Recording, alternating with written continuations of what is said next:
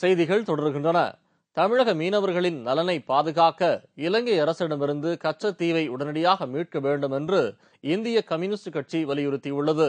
விருதுநகர் மாவட்டம் ராஜபாளையத்தில் இந்திய கம்யூனிஸ்ட் கட்சியின் இருபத்தி இரண்டாவது மாநில மாநாடு நடைபெற்றது. இரண்டாவது நாளான இன்று பல்வேறு தீர்மானங்கள் நிறைவேற்றப்பட்டன. தமிழக மீனவர்களின் நலன் பாதுகாக்கவும் சிங்கள கடற்படையினரின் தாக்குதலை முறியடிக்கவும் கச்சத்தீவை உடனடியாக மீட்க வேண்டும் லஞ்ச ஊழலை கட்டுப்படுத்த தமிழ்நாட்டில் புதிய மசோதா கொண்டு வர வேண்டும் என்பது உள்ளிட்ட பல்வேறு தீர்மானங்கள் நிறைவேற்றப்பட்டன. மேலும் மெட்ரிக் பள்ளிகளில் தமிழில் பேச தடை விதித்தும் மீறி பேசினால் அபராதம் விதிக்கும் தனியார் பள்ளிகளுக்கு இந்த மாநாட்டில் கடும் கண்டனம் தெரிவிக்கப்பட்டது. கல்விக்கூடங்களை சுற்றிலும் அருகிலும் வாழ்கின்ற குடும்பத்தாரின் குழந்தைகளை எவ்வித நிபந்தனையின்றி பள்ளி வகுப்புகளை சேர்த்துக் கொள்ள வேண்டும் என்றும் தமிழக அரசு உத்தரவிட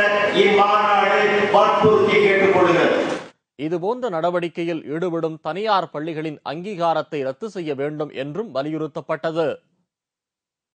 நாடு முழுவதும் உள்ள ஐந்து வயதிற்குட்பட்ட குழந்தைகளுக்கு நாளை போலியோ சொட்டு மருந்து வழங்கப்படுகிறது. குழந்தைகளுக்கு ஏற்படும் இளம்பிள்ளை வாத நோயை தடுக்க ஆண்டுதோறும் அரசு சார்பில் போலியோ சொட்டு மருந்து வழங்கப்பட்டு வருகிறது. அதன்படி தமிழ்நாட்டில் உள்ள ஐந்து வயதுக்குட்பட்டோருக்கு போலியோ சொட்டு மருந்து வழங்குவதற்கான முகாம் நாளை நடைபெறுகிறது.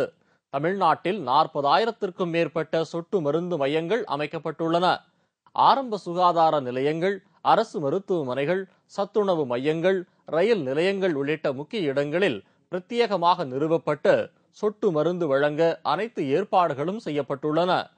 காலை ஏழு மணி முதல் மாலை நான்கு மணி வரை சொட்டு மருந்து முகாம் செயல்படும் என்று தமிழக அரசு அறிவித்துள்ளது.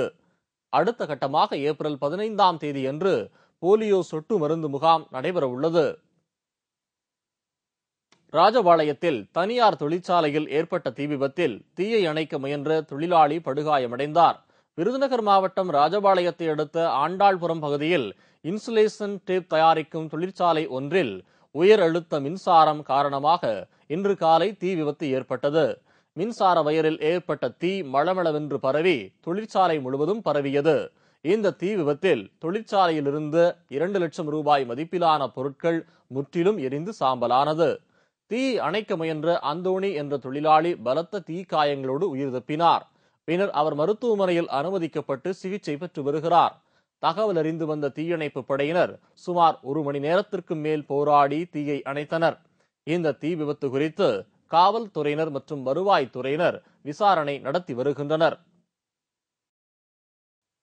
மதுரை அரசினர் கல்லூரி விடுதியில் மாணவி ஒருவர் தூக்கில் தொங்கிய சம்பவம் அந்த பகுதியில் பெரும் பரபரப்பை ஏற்படுத்தியுள்ளது. மதுரை கோரிப்பாளையத்தில் அருள்மிகு மீனாட்சி அம்மன் அரசினர் மகளிர் கல்லூரி உள்ளது. இதில் முன்னூற்றுக்கும் மேற்பட்ட மாணவிகள் பயின்று வருவதுடன் எழுபத்தி ஐந்து மாணவிகள் கல்லூரி விடுதியில் தங்கியுள்ளனர். இந்த கல்லூரி மற்றும் விடுதிக்குள் செல்போன் பயன்படுத்த தடை விதிக்கப்பட்டுள்ள நிலையில் முதலாம் ஆண்டில் பயின்று வரும் ஈஸ்வரி எனும் மாணவி செல்போன் பயன்படுத்தி கொண்டிருந்தார். இதை கண்ட கல்லூரி பேராசிரியர் மாணவியை கண்டித்துள்ளார். இதனால் மனமடைந்த ஈஸ்வரி நேற்றிரவு தூக்கு மாட்டிக்கொண்டார் சக மாணவிகள் பார்த்து உயிருக்கு ஆபத்தான நிலையில் இருந்த அவரை தீவிர சிகிச்சை பிரிவில் அனுமதித்துள்ளனர். இது தொடர்பாக செல்லூர் காவல்துறையினர் வழக்கு பதிவு செய்து விசாரணை நடத்தி வருகின்றனர். கல்லூரி மாணவி தூக்கு மாட்டிக்கொண்ட சம்பவம் மதுரையில் பெரும் பரபரப்பை ஏற்படுத்தியுள்ளது.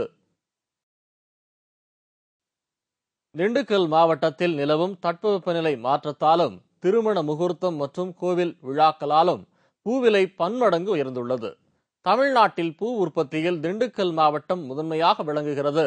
திண்டுக்கல் நிலக்கோட்டை உள்ளிட்ட பகுதிகளில் மல்லிகை பூ அதிக அளவில் சாகுபடி செய்யப்படுகிறது. வேடசந்தூர் பகுதிகளில் செவ்வந்தி பூவும் ஆத்தூர் பகுதிகளில் சம்மங்கி பூவும் கொடைரோடு பகுதிகளில் ரோஜா பூக்களும் சாகுபடி செய்யப்படுகிறது. இங்கு விளையும் ஒட்டுமொத்த பூக்களும் திண்டுக்கல் மார்க்கெட்டுக்கு கொண்டு வரப்பட்டு விலை நிர்ணயம் செய்யப்பட்டு தமிழ்நாட்டின் அனைத்து பகுதிகளுக்கும் ஏற்றுமதி செய்யப்படுகின்றன. கேரளா கர்நாடகா போன்ற வெளி மாநிலங்களுக்கும் ஏற்றுமதி செய்யப்படுகிறது. தற்போது நிலவும் தட்பவெப்ப சூழ்நிலை காரணமாக பூக்களின் வரத்து வெகுவாக குறைந்துள்ளதால் அதன் விலை கடுமையாக உயர்ந்துள்ளது. மல்லிகை பூ ஒரு கிலோ ஐநூறு ரூபாய் முதல் அறுநூறு ரூபாய்க்கும் கனகாம்பரம் இருநூறு ரூபாய் முதல் இருநூற்று ஐம்பது ரூபாய்க்கும் சம்மங்கி கிலோ முன்னூறு ரூபாய்க்கும் விற்கப்படுகிறது. பூவரத்து குறைவாக உள்ளதால் வரும் காலங்களில் மேலும் விலை உயர வாய்ப்புள்ளதாக வியாபாரிகள் தெரிவித்துள்ளனர். திருப்பூரில் போலீசார் பொய் வழக்கு பதிவு செய்து துன்புறுத்தியதால் மனமுடைந்து தீக்குளித்த வியாபாரி ஒருவர் சிகிச்சை பலனின்றி இன்று உயிரிழந்தார்.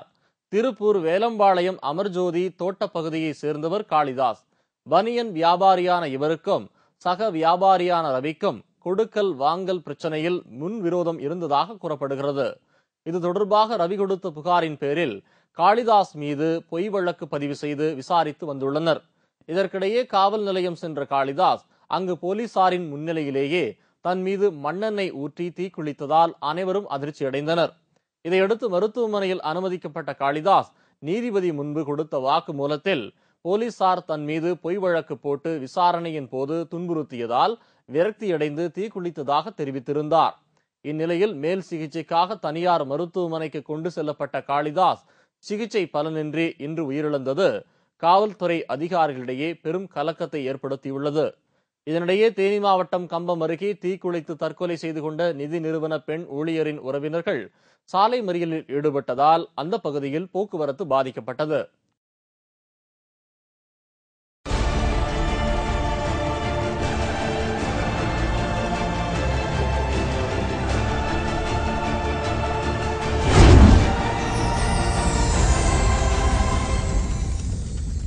ஆச்சரியம் ஆனால் உண்மை. உலகிலேயே கொடுமையானது உடல் ஊனம். இளம் தளிர்கள் ஊனமுற்றதால் படும் அவதி காண்போரை கண்கலங்க வைக்கும். அப்படிப்பட்ட குழந்தைகளுக்கு மறுவாழ்வு கொடுக்கிறது ஒரு மையம். கை கால் ஊனமுற்று இருக்கும் குழந்தைகளுக்கு செயற்கை கை கால்களை பொருத்தி அவர்களை இயல்பு வாழ்க்கைக்கு திருப்புகிறார்கள். அந்த குழந்தைகள் செயற்கை கால்களோடு வாழ்க்கையில் நம்பிக்கையோடு நடப்பதை பாருங்கள்.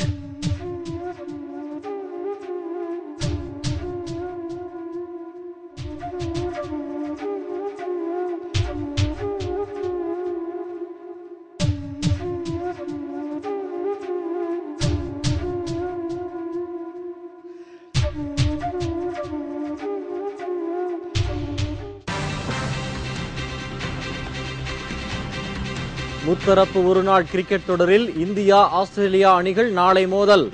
வெற்றி பெற இரு அணிகளும் தீவிர வலைப்பயிற்சி. விவரம் இடைவேளைக்கு பிறகு.